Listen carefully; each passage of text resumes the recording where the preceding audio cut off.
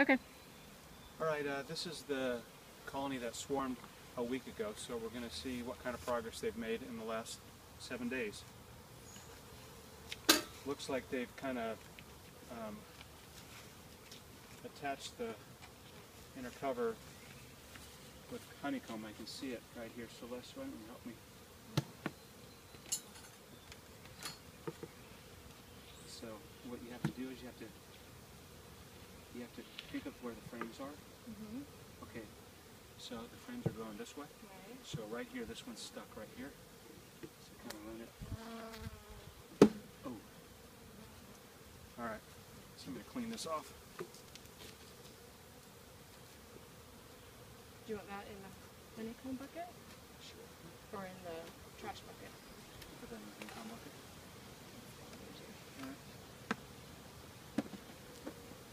All right. Just saving the honeycomb.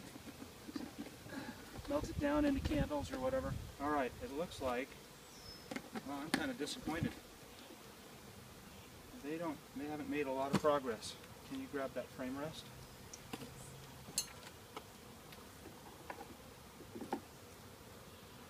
So, I had heard the rumor that swarms are prolific comb builders. So we'll see how much they've done in a week. They just don't have a lot of bees, so it was a really small swarm.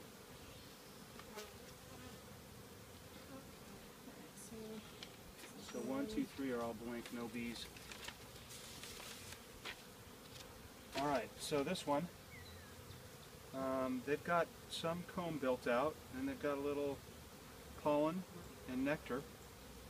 Uh, maybe about, for the whole frame, maybe about a quarter. And bees, bees on one side. So not a whole lot of, not a whole lot new since last week. Let's see if we can spot the queen. I'm guessing she'll be on this frame.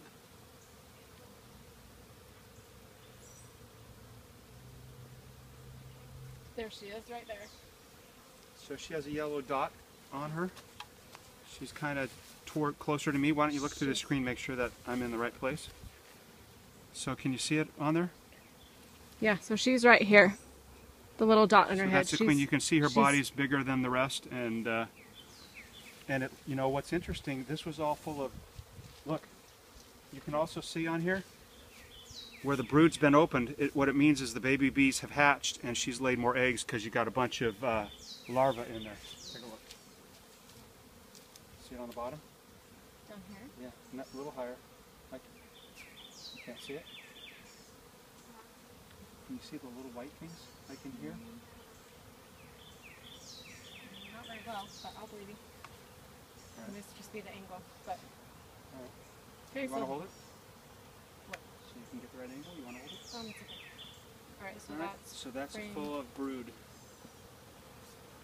And then the next one, so all that's in here.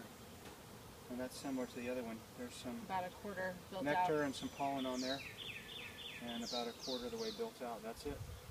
Well, that's kind of disappointing. I thought they'd be doing a lot better. But the good news is she does have some cells where she can lay eggs because those other um, food cells have hatched. So that's probably it. So you can probably turn that video off. Okay. Stay tuned for hive number two.